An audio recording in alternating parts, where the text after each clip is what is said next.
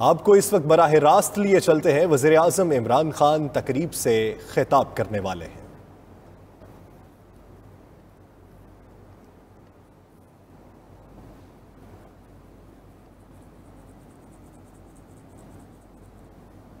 या या मैं आज एन एच ए को खराज तहसीन पेश करता हूँ। सारी आपकी मुराद, आपकी टीम को खुरम आपको बाकी सारी आपकी टीम को। क्योंकि आपने एक ऐसा प्रोजेक्ट जो, जिसकी आज लॉन्च की है, नुकंडी से मशकेल तक, ये वो इलाका है, जो मेरे ख्याल में पाकिस्तान का सबसे रिमोट इलाका, जिस तरह कहें बैक यार्ड कह दें आउट बैक कह दें, वो इलाका जिधर सत्तर साल से हमारा मुल्क जिसको भूल चुका था, ये वो इलाका है। मैं बलूचिस्तान काफ़ी फिरा हूँ, लेकिन इस इलाके में नहीं गया। और जो मैंने बलूचिस्तान का मसला ये है कि इतने इतने बड़े फासले हैं यहाँ। और ये वो सूबा है कि अगर हम इस, इसको कनेक्ट कर दें, यानी सड़कों से ये कनेक्ट हो जाए तो इसमें बहुत बड़ा पोटेंशियल पड़ा हुआ है। हमने किसी ने आज तक हमारे मुल्क में किसी ने इसके ऊपर सही माने में तवज्जो दी नहीं। और वो क्योंकि वो दूर होता है बलूचिस्तान बलूचिस्तान की वोट से पाकिस्तान का प्राइम मिनिस्टर बनता नहीं तो वो उधर ही ज़ोर लगाते हैं जिधर उनको वोट मिलती है और क्योंकि बलूचिस्तान दूर है और वोट नहीं मिलती तो इसको हमने पीछे छोड़ दिया। तो ये जो प्रोजेक्ट है, ये उसी एक हमारी बड़ी कोशिश का हिस्सा है। कि जो लोग पीछे रह गए पाकिस्तान में, उनको हमने ऊपर लेके आना है। और जो इलाके पाकिस्तान में पीछे रह गए हैं, उनके ऊपर पूरा कॉन्सनट्रेट करना है कि वो इलाकों को अब हम मेन स्ट्रीम में लेके उनको उठाएँ। तो बलूचिस्तान, क्योंकि वो पाकिस्तान का सूबा है, जिसको किसी ने तवज्जो ही नहीं दी सही माने में। और मैं समझता हूँ कि जितनी रिटर्न्स हमें बलूचिस्तान में उनको कनेक्ट करके, उसको डेवलप करके मिलेंगी क्योंकि पीछे रह गया और वो जल्दी से ऊपर उस पर उसकी रिटर्न्स बहुत ज़्यादा होंगे। तो पहले तो पाकिस्तान की फ्यूचर के लिए बड़ा ज़रूरी है ये जो कनेक्टिविटी है। और दूसरा, पाकिस्तान एक हमारी फेडरेशन को मज़बूत करने के लिए बहुत ज़रूरी है। क्योंकि बलूचिस्तान को लोगों लोगों को ये तासर नहीं जाना चाहिए कि वो पाकिस्तान पाकिस्तान एक तरफ़ जा रहा है और बलूचिस्तान के लोगों को कोई फ़िक्र नहीं करता उनके हालात का। तो ये हर तरह ये सड़क इन ये वो सड़क है जिसका लॉन्ग टर्म में बहुत बड़ा इम्पैक्ट पड़ेगा पाकिस्तान पे। आ, अब मैं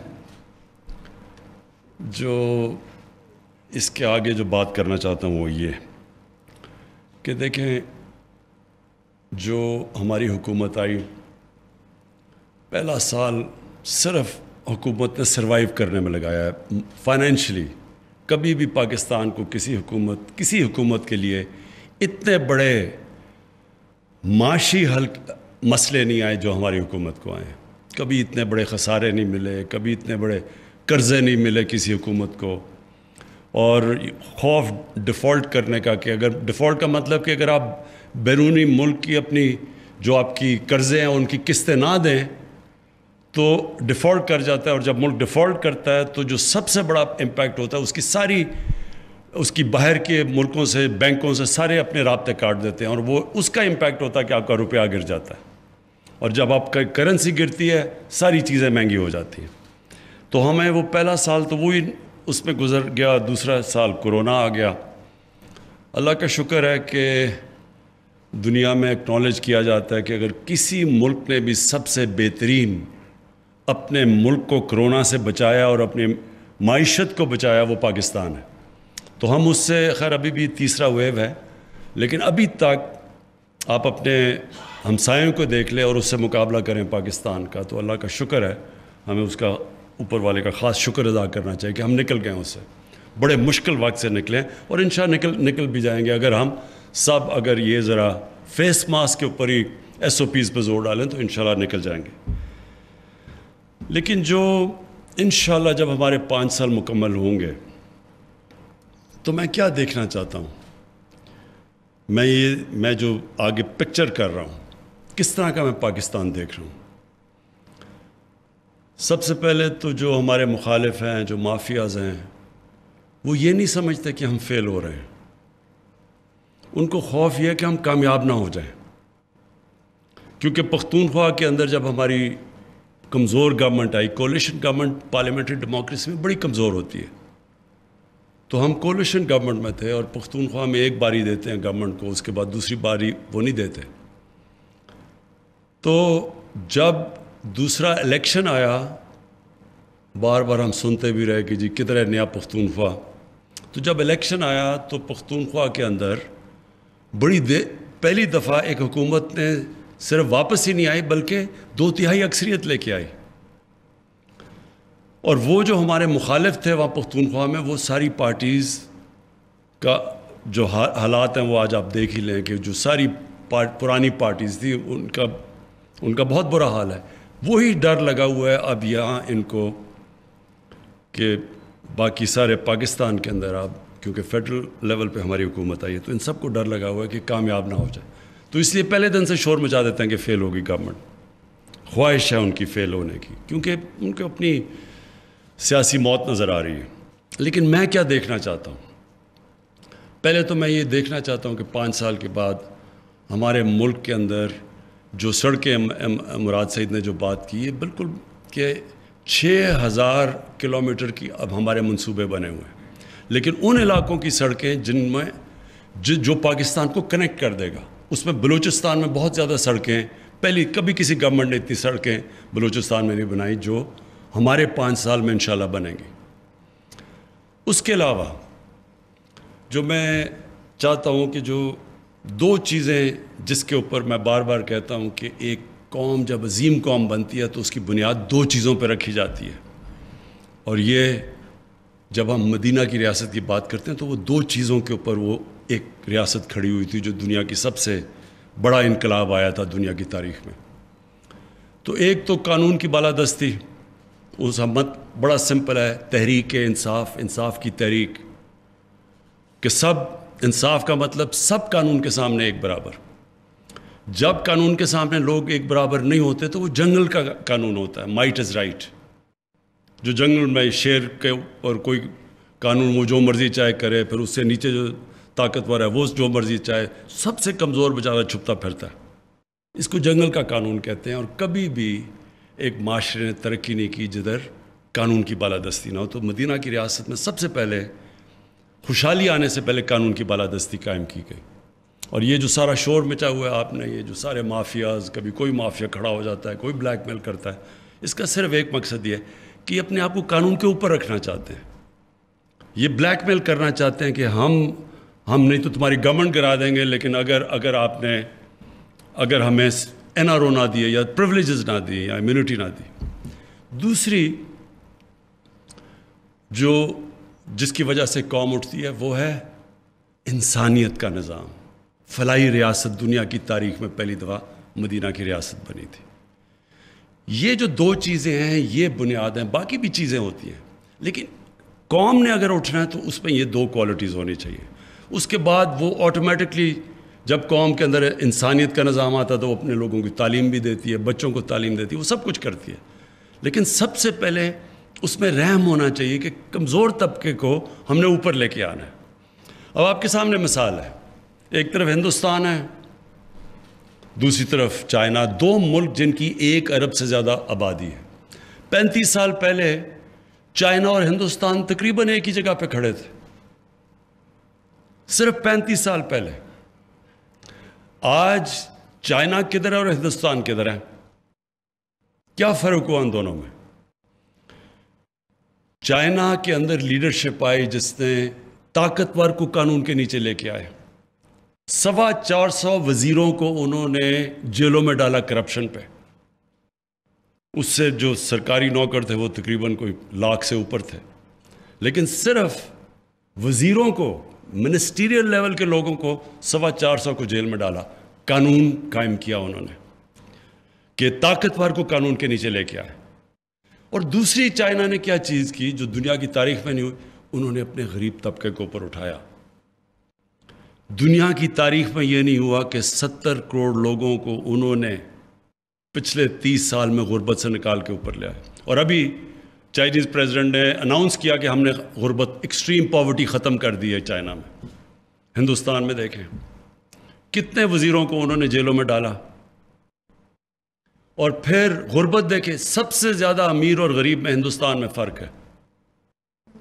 तो ऊपर आने के लिए ये रिक्वायरमेंट्स हैं दो जो कि मदीना की रियासत में ताकतवर को कानून के नीचे लेके आओ, निचले तबके को ऊपर उठाओ। फलाई रियासत बनाओ। तो मैं क्या देखना चाहता हूँ पाकिस्तान में पाँच साल के बाद? मैं ये देखना चाहता हूँ कि ये जो बड़े बड़े माफियाज हैं, इन सारों को कानून के नीचे लेके आऊँ इनको पहली दफ़ा पाकिस्तान में रूल ऑफ़ लॉ कायम करें। रूल ऑफ़ लॉ का मतलब होता है कानून की हुक्मरानी। जो जंगल का कानून है, उसमें ताकत की हुक्मरानी होती है। अगर किसी ने क्लासिक एग्ज़ाम्पल देखना है, पाकिस्तान में क्या हुआ? नवे की दिहाई में, अठासी में पीपल्स पार्टी पावर में आए आसिफ जरदारी सीधा प्राइम मिनिस्टर हाउस नबे में पीपल्स पार्टी जाती है, Asif Zardari prime minister house से सीधा जेल में करप्शन पे. तिरानवे में नून लीग जाती है पीपल्स पार्टी फिर पावर में आती है, वो जेल से सीधा प्राइम मिनिस्टर हाउस और छियानवे में जैसी पीपल्स पार्टी जाती है वो प्राइम मिनिस्टर हाउस से सीधा जेल में। तो वो कानून की हुक्मरानी नहीं थी। ताकत की जब ताकत में आओ सारे केसेस खत्म। जैसे आप आ, आ, ताकत से जाओ सीधा वापस जेल में। तो ये कानून नहीं है। इस तो ये जंग लड़ी जा रही है तहरीक इंसाफ कानून की जंग। तो ये मेरा सबसे बड़ा है कि इन बड़े बड़े माफियाज को कानून के नीचे लेके आएँगे। ये मेरा पहला ऑब्जेक्टिव है। और दूसरा ऑब्जेक्टिव ये है कि जो अपने कमज़ोर तबके को हम ऐसा उठाएँगे जो कभी पाकिस्तान में पहले नहीं उठाया। मसलन, सबसे ज़्यादा प्रॉब्लम होता है लोगों को जब एक गरीब घराने में बीमारी होती है। शौकत हम इसलिए बनाता है, गरीब आदमी को जब कैंसर में देखा तो मैंने सोचा कि हम इतना महँगा इलाज हमारे लिए इतना मुश्किल है तो इस गरीब घराने में क्या हो रहा होगा? उसी तरह जो अब हमारे दो सूबों के अंदर, जिधर हमारी हुकूमत है हेल्थ कार्ड लेके आए ये इनकलाब है। ये मैं आज आपको कह रहा हूँ कि पाँच साल के बाद आप देखेंगे कि प्राइवेट सेक्टर हॉस्पिटल्स बना रहा होगा देहातों के अंदर। इधर बलूचिस्तान के इलाकों में बना रहा होगा, क्योंकि वो भी हेल्थ कार्ड वो भी हेल्थ इंश्योरेंस लेके आ रहे हैं बलूचिस्तान में। अब तक क्यों नहीं जाता था प्राइवेट सेक्टर गाँव में, देहातों में? क्योंकि उनके पास पैसा नहीं था उसके लिए। अब सबके पास हेल्थ कार्ड होगा। तो प्राइवेट सेक्टर पहली दफ़ा एक हेल्थ पाकिस्तान के अंदर अस्पताल बनाएगा। ये आप देखते रहें कि यह आगाज़ हमने कर दिया है। पख्तूनख्वा के अंदर सब शहरीों को हेल्थ कार्ड मिल गया, हर ख़ानदान को। पंजाब के अंदर इस साल के आखिर तक सब शहरीों को हेल्थ कार्ड मिल जाएगा। दूसरी चीज़, ये जो एक पाकिस्तान में अजाब इंग्लिश मीडियम, उर्दू मीडियम, दीनी मदरसे ये पहली दफ़ा एक एक कोर्स सिलेबस पाकिस्तान में लेके आ रहे हैं। अगर अंग्रेज़ी में आईटी के लिए अंग्रेज़ी चाहिए तो सब बच्चों को अंग्रेज़ी पढ़ाएँ। ये क्या कि सिर्फ़ एक तबके को अंग्रेज़ी और अच्छी नौकरियाँ? ये पहली दफ़ा आ रहा है पाकिस्तान में। बड़ी मुश्किलों से, और मैं अपने फेडरल एजुकेशन मिनिस्टर को दाद देता हूँ, शफकत महमूद को, उन्होंने बड़ी कंसल्टेशंस करके एक कोर्स सिलेबस लेके आ रहे हैं, जो सारी सब डेवलपमेंट डेवलपमेंट डेवलप्ड ममालिक के अंदर हर जगह एक ही चीज़ होती है। एक कोर्स सिलेबस होता है, फिर एक्स्ट्रा सब्जेक्ट्स होते हैं जो कि डिफरेंट स्कूल्स पढ़ाते हैं। और फिर जो हमारी कोशिश है फलाई रियासत बनाने की, पनागा, हर जगह जिधर मज़दूर जाते हैं, हमारी कोशिश है कि वहाँ एक पनागा हो, कि मज़दूर आके मुफ़्त ठहर सकें, उनको खाना दे सकें, उनको अच्छी रात सो सकें, उनको किराया ना देना पड़े। उनको खाने पे पैसे खर्च ना करना पड़े, ताकि जो भी पैसा बचे वो अपने घर भेज सके। ये एक इन सारे पाकिस्तान में हमारी कोशिश है जाल फैले पनागाह का। और दूसरा इन ये जो हमारी कोशिश है अब कि हमारी ट्रक चले जिनके ऊपर किचन बनाओ, हर गरीब इलाके में जाएँ, कि कोई भूखा ना सोए, कि बुनियादी चीज़ पे गरीब इलाकों के अंदर लोगों के पास खाना हम प्रोवाइड कर सकें। और फिर कानून के अंदर जो हमने कोशिश कर रहे हैं कि आ गया पख्तूनख्वा के अंदर तो आ गया सिविल प्रोसीजर कोड को चेंज करके इसमें असलाहत की हैं। पंजाब में आने वाली हैं, थोड़ी उसमें इस वक्त कहीं अदालत में चैलेंज हुआ हुआ है। कोशिश ये है कि अब ज़मीनों के केसेस हैं, वो पचास पचास साल लग जाते हैं। तो ये नया सिविल प्रोसीजर कोड के से एक साल के अंदर केस का फैसला होना पड़ेगा। तो इससे भी एक बहुत बड़ा इनकलाब आएगा जो अब तक नहीं आया। तो इंसाफ मिले लोगों को, आम लोगों को तालीम मिले और एक मौका मिले उनको ऊपर आने का। और फिर जो दो बड़े शोबे हैं, इंडस्ट्री और एग्रीकल्चर, इसके अंदर अभी भी पाकिस्तान की इंडस्ट्री जिस तरह आज उठ रही है, मैं दावे से कहता हूँ कि 50 साल के बाद पहली दफ़ा पाकिस्तान की इंडस्ट्री उठ रही है। जो इंसेंटिव्स हमने इंडस्ट्री को दिए हैं लार्ज स्केल मैन्युफैक्चरिंग के अंदर जो ग्रोथ हो रही है, ये सारे जो हमने इंसेंटिव्स दिए हैं, आप देखते रहें कि ये पाँच साल के बाद हमारी इंडस्ट्री किधर जाएगी, रोज़गार कितना मिलेगा। लेकिन जो ज़रिए असलाहत हम करने जा रहे हैं, जो है किसान कार्ड लेके आए पंजाब के अंदर इन आप देखेंगे कि किसान की हमने ज़िंदगी बदल देनी है। और डायरेक्टली उसको सब्सिडी हमारे तकरीबन पैंसठ फ़ीसद किसानों की पाँच एकड़ से कम ज़मीन है। तो उनको डायरेक्ट हम सब्सिडाइज करेंगे, उनकी खादें देंगे, उनको क्रेडिट पहुँचाएँगे, उसको एम्पावर करेंगे और गुर्बत कम करने का ये सबसे बड़ा तरीका है कि छोटे किसान की मदद। अभी भी आज की मदद अभी भी आज किसानों के पास इतना पैसा है कि पाकिस्तान की तारीख में कभी किसानों के पास इतना पैसा नहीं आया। 1100 अरब रुपया इजाफी गया किसानों के पास, क्योंकि पहली दफ़ा उनको वो कीमतें मिली हैं, गन्ने की, उनको गंदम में वो कीमत मिली है जो कभी पहले नहीं मिली। चावल में, मकई में। तो जो 1100 1100 अरब इजाफी पैसा गया, इसका मतलब कि जो खुशहाली आई है, वो आप ये देख लें कि कभी पाकिस्तान की तारीख में इतने ट्रैक्टर बिके ही नहीं जितने इस साल बिके हैं। अठावन फ़ीसद ट्रैक्टर्स के सेल के अंदर इजाफा हुआ है। इसका मतलब पैसा गया है वहाँ। मोटरसाइकिलों के अंदर रिकॉर्ड सेल हुई है। तो ये इसलिए कि पैसा उधर गया, देहातों के अंदर गया। और इन जो आखिर में मैं कहना चाहता हूँ, हमारा जो एहसास का प्रोग्राम है, हमने अब पूरा डेटा कंप्लीट कर लेंगे अपने गरीब सारे पाकिस्तान के घरानों का। तो जो निचले तबके के घराने होंगे, उनको डायरेक्ट सब्सिडीज़ दिया करेंगे।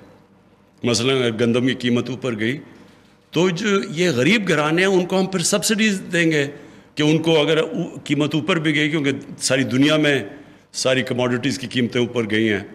तो हम कम अज़ कम उनको प्रोटेक्ट करें अपने गरीब घरानों को। एक पूरा हमारे पास डेटा बेस आ गया और इन आप देखेंगे कि हमारा जो आप एहसास का प्रोग्राम जिसके अंदर हम आप डायरेक्ट सब्सिडी दे सकेंगे गरीब घरानों को। अगर मतलब बिजली महँगी होगी तो उनको बिजली की सब्सिडी दे देंगे। अगर अगर गंदम महँगी हुई, चीनी महँगी हुई तो हम उनको डायरेक्ट सब्सिडाइज करेंगे ताकि अपने निचले तबके को हम उसकी हिफाजत करें, उसको, उसकी मुश्किलें कम करें, उसको ताकि मौका मिले।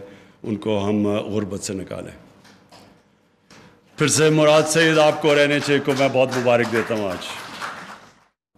वज़र अजम इमरान खान नोशकी से माशकेल तक नई सड़क की तामीर की संग बुनियाद की तकरीब से खिताब कर रहे थे।